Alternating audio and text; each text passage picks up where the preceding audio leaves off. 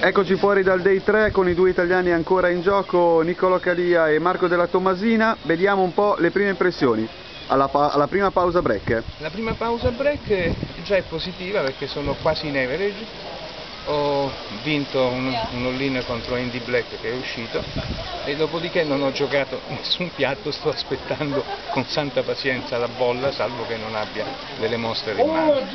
Tu Marco? Io sono riuscito a raddoppiare una buona mano con Donna Donna e adesso sono sugli 85.000, comunque sono ancora short e la bolla si avvicina e si fa dura ma niente, noi giochiamo per i massimi quindi se dobbiamo giocarci il colpo in bolla ce lo giochiamo. Tutto l'Italia attivo per voi, quindi forza azzurri e ci rivediamo sempre qui da Villa Moura.